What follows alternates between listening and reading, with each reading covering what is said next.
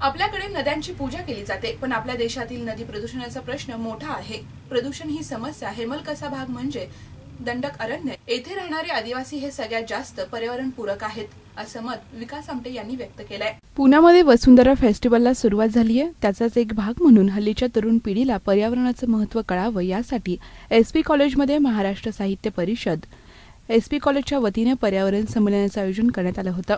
यावेळी संमेलनाचे अध्यक्ष रामचंद्र देखणे मिलिंद जोशी प्रकाश पायगुडे इत्यादी मान्यवर उपस्थित होते. एक दिवस चालणाऱ्या या संमेलनात अशोक नायगावकर रामदास फुटाणे हे आपल्या मुश्किल कवितांच्या माध्यमातून पर्यावरणाचे महत्त्व विद्यार्थ्यांना सांगणार आहेत. जे भूतकाळ जगात नाहीत भविष्यकाळाचाही विचार करत नाहीत ते फक्त वर्तमानाचा विचार करतात.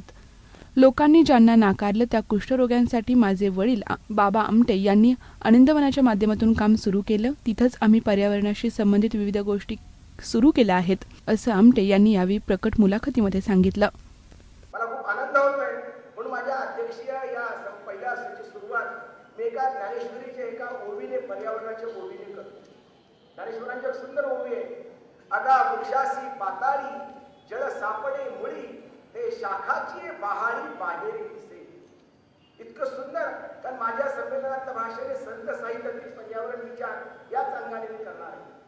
ज्ञानेदेवांनी इतकी सुंदर ओवी बोलून असं म्हणते एखादा वृक्ष पाना फुलाने बहरून जातो डवरतो का त्याच्या मुळाशी खोलवर कोणतरी पाणी मिळालेलं आहे.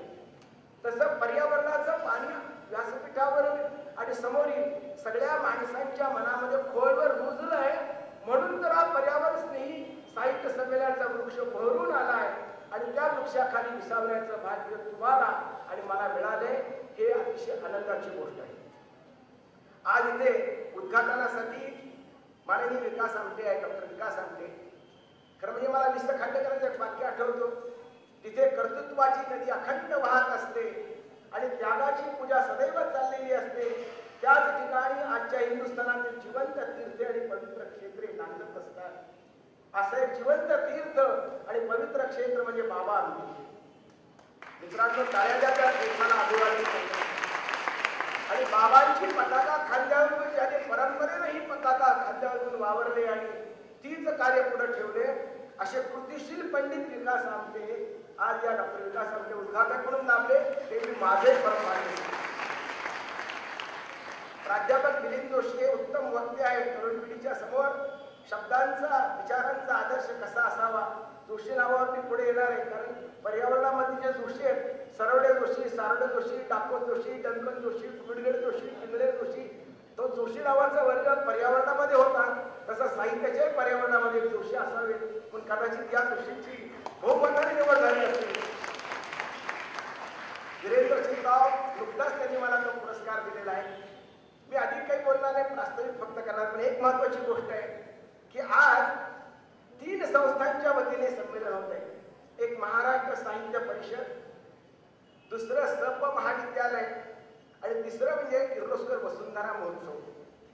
आणि या तिन्ही संस्था माझ्या जीवनातील ऊर्जेचा स्रोत आहे कारण माझ्या प्रतिनिधी Rohan Gawali bureau report Jeevan news Pune metro महानगराची lifeline Pune.